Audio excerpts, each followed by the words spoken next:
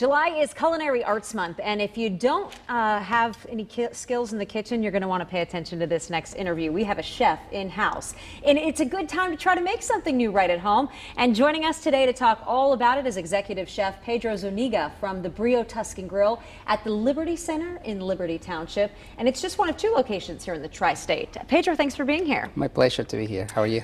Great. I love when we have cooking on the show because eating is one of my favorite pastimes. So, what are we yeah, cooking up mine today? Too. Well, we're going to talk about the, uh, we have our National Lasagna Day uh, today and tomorrow, and we feature in our vegetable lasagna, which is very delicious.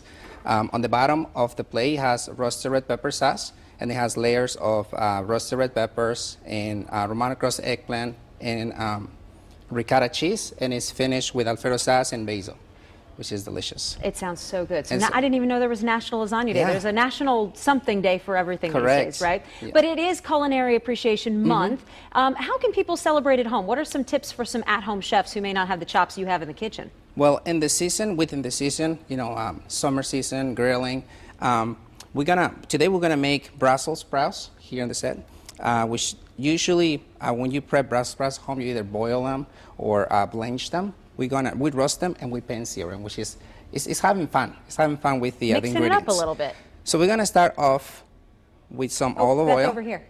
We're cooking. We're gonna start with some olive oil. There we go. And then we're gonna add some roasted Brussels sprouts. So the roasted Brussels sprouts, you're gonna clean them. Okay. You're gonna cut them in half. You're gonna take the steam off, and you're gonna roast them with olive oil and salt and pepper. Okay. Then after that, you're gonna put them on a pan with some more olive oil, and you're gonna you're gonna add some capers, which capers are gonna get all the flavors. They're gonna marry them together. Okay. Okay. Then we're gonna add some rendered bacon. Got to add the bacon. Applewood bacon. Yeah, you cannot go wrong with that. You're gonna mix this together. So you wanna get the flavor from the applewood bacon infused into the Brussels sprouts. That's that's the goal. That and then we, really to good. make it all better, we're gonna add some maple balsamic. Just adding more flavor to it, or did you need to add more liquid so that they get uh, softer? Both. Both. Okay. So the liquid is gonna help you get the uh, the Brussels sprouts warm all the way through, and it's gonna get that sweet flavor to it. Very good.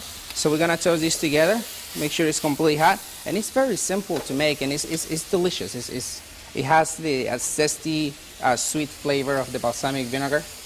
And it's a very good vegetable to serve with really any kind of meat, just to get a little bit of green in your dish. Now, if you wanna, if you wanna put that right next to a, uh, a ribeye, which is espresso rub, Mm-hmm. um, and we serve it with a caramelized lemon and a, a rosemary leaf, um, it goes well together. It goes very, very well. Sounds really good.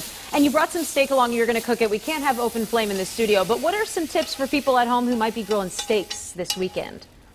So the very first thing that you want to do, number one, is preheat your grill.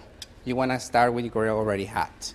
Okay. You also want to, depending upon the steak that you want to cook, you can either marinate it ahead of time or you can brine them, which uh, brining is another cooking method.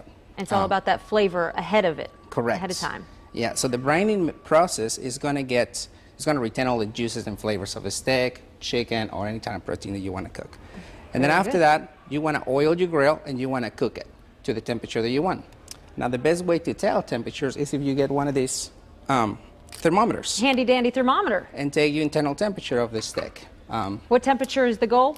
122 will be medium rare, and then you go 8 degrees above for the next temperature. So medium rare, medium, medium well, and all the way to 165 will be your well done. Very good. When I want a good steak, I'm going to have Pedro cook it for me You because know, I'll I do that think I you. can cook it as well as he can. Stop by Brio Tuscan Grille at the Liberty Center uh, to get a steak or lasagna because today and tomorrow, National Lasagna Days. Uh, that's at Brio. Pedro, thanks for being here. My Great pleasure. tips. Thank